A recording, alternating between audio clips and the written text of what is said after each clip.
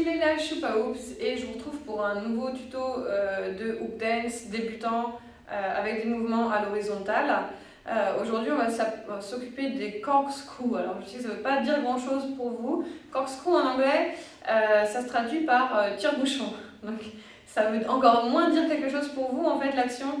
Enfin tout ce qu'on va appeler corkscrew ça va être tous ces mouvements un petit peu spiralés justement qui font euh, rappel à un, tire-bouchon.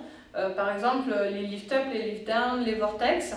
Ça peut aussi s'appeler euh, des corkscrews puisqu'ils ont vraiment aussi ce mouvement de spirale.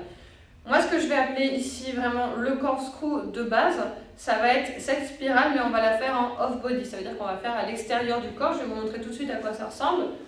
Donc, on démarre d'un lasso et ça va être le fait de faire une spirale devant soi mais on reste en extérieur du corps et on peut le faire des deux mains devant. D'accord? Et bien sûr, on le fera dans les deux sens. Alors, le mouvement du corkscrew, comme je vous disais, c'est une spirale. On commence du lasso. Ok, donc je monte mon lasso au-dessus de la tête à l'horizontale.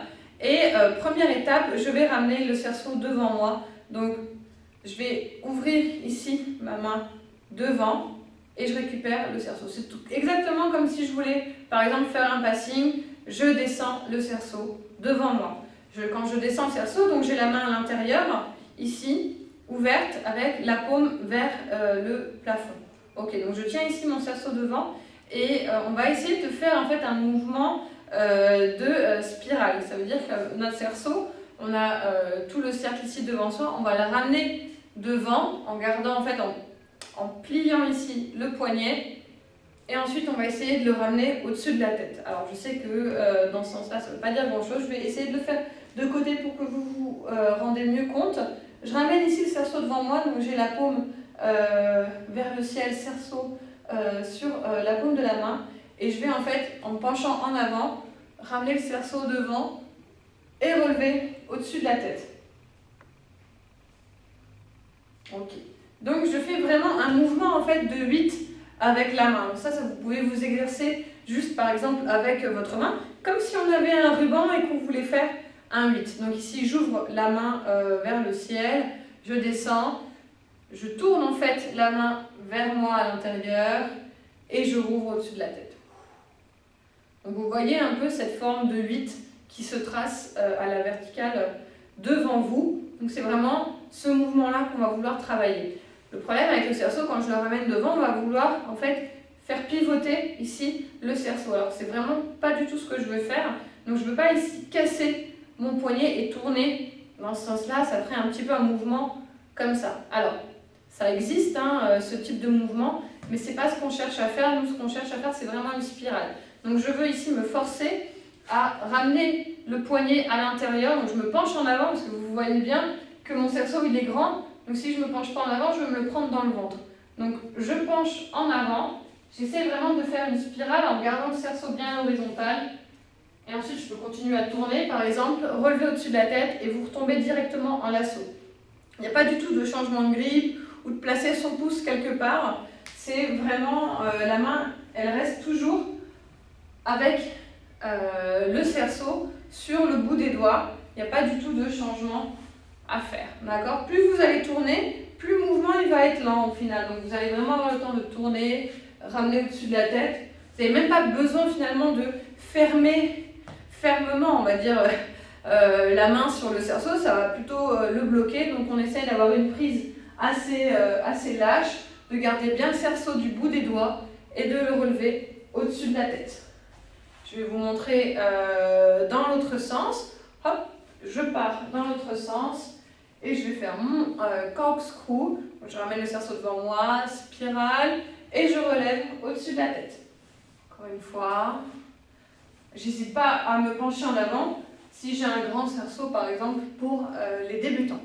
Donc ça, c'était euh, le corkscrew dans la première main. C'est un peu la version la plus facile. Maintenant, si je veux le faire avec l'autre main, c'est en fait qu'on va faire le mouvement à l'envers. Donc vous avez vu, au début, j'ai commencé par faire donc ce mouvement avec ma première main de spirale. Si je change de main, je ne peux pas le faire euh, vers l'avant comme je le voudrais, puisque ça voudrait dire que je change de sens le cerceau. Nous, on ne veut pas changer de sens euh, avec le cerceau pendant qu'on danse. Donc, je vais faire mon mouvement ici euh, avec ma première main et la deuxième main, elle va suivre en fait ce mouvement. D'accord? Donc, on va essayer de faire exactement le même mouvement avec les deux mains.